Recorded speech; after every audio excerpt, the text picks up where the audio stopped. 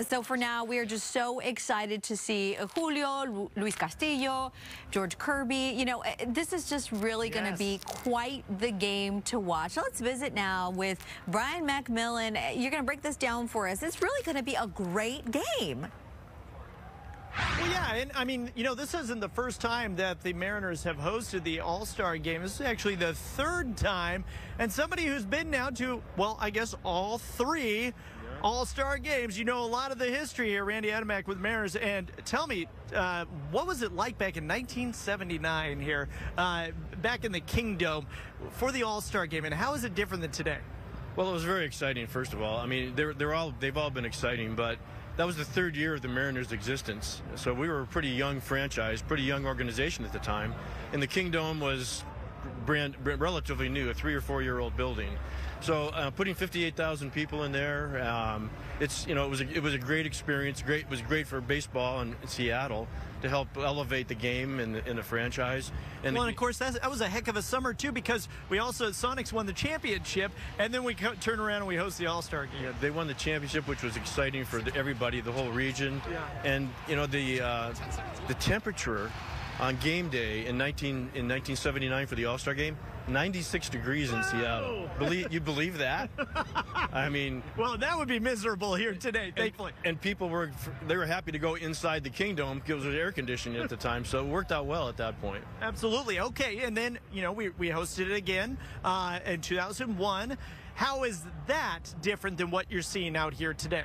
Well, you know, all each time we've hosted it, the, the event has grown from a basically from a game in 79 to a five-day event in, in 2001 to basically a, a five-day event plus in, in, two, in 2023. So it's been 22 years between each one.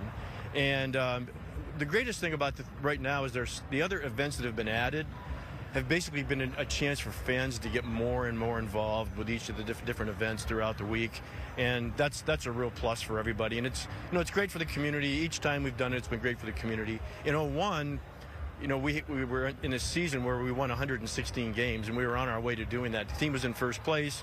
Ichiro was brand new.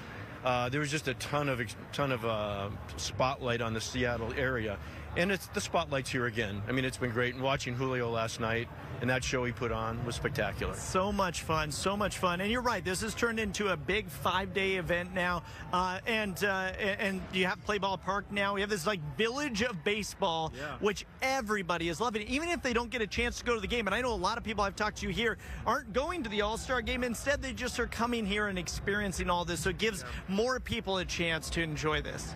Yeah, between Play Ball Park, which there'll be over 100,000 people here over the five days. Um, you know, the, the, the, the, drone show that they did, uh, some of the, the youth baseball and softball tournaments that are going on out in the marketplace. I mean, it's been, it's, there's a lot going on. It's been a great job. It's been great for the city. I think, I think bouncing back off the pandemic and everything else going on, it's just been a great chance to showcase the area, the, the waterfront everything else that's going on. And you were a part of uh, the bid to get this game here in Seattle. So how, was it a difficult sell to Major League Baseball? well, you know, it's become a much more business-like proposal now. It's not like the com commissioner sits back and decides, okay, it's going to be here or there. Um, we started the process in 2017, where we actually started the process of getting the city, the county, the state, the sports commission, visit Seattle, everybody involved that needed to be involved and um, we finally we, we, were able to finally submit the bid itself in September of 2019. 2021, it was awarded to us, and here we go. I mean, it's now it's this is the final day. That had to feel pretty good when they when they announced it. When you got that phone call. Yeah, it was it was a great day for everybody. We we had a good celebration in the old office. Yeah. I bet. And and you, we were talking off camera a little bit ago. This is about the closest thing to the Super Bowl that baseball gets because you know for the World Series, yes, that is spectacular, right. but uh, it's it's not this this uh, kind of destination, kind of neutral place that everybody can go, right?